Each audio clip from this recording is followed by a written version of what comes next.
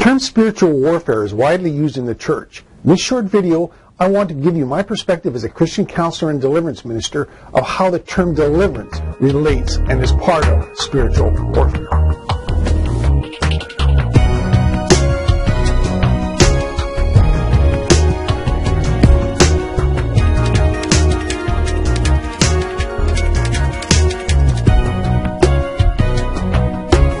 The best definition of spiritual warfare is found in Ephesians 6:12 in the Bible, where Paul says, "Our struggle is not against flesh and blood.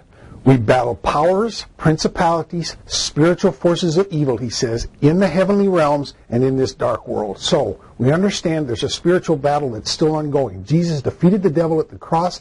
He's a defeated foe, but the warfare is still going on. So, there is the two realms. There's the heavenly realm that Paul talks about, and we would see and understand that as the second heaven. That's where principalities are, powers and principalities that he, that he refers to. And we see that evidenced in the book of Daniel, where he is told that the answer to his prayer was delayed because the prince of the Persian kingdom was at work there and, and hindering that prayer. So we would see those as demonic warfare happening over cities, over territories, over countries, uh, maybe even churches and, and, and areas, that sort of thing. That's the second heaven. We live here in the earthly realm, the first heaven. And that's where Paul says there's spiritual forces of evil in this dark world. Even Satan is called the prince of this world. And there are demonic spirits here assigned to torment us. And, uh, and we see that uh, many sicknesses and diseases are, are, are, there are spirits behind those. And so part of the warfare in the heavenly, in the earthly realm is, is coming for physical healing.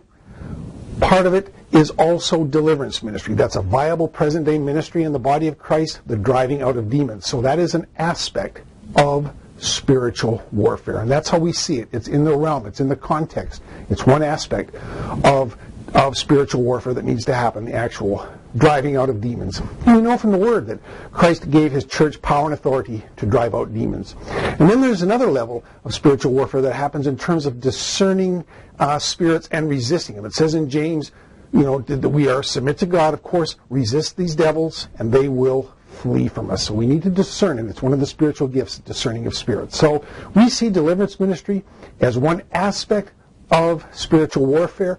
Spiritual warfare happens on many fronts. In the, in the, in the second heaven type of warfare, a lot of intercessors are involved in doing things there.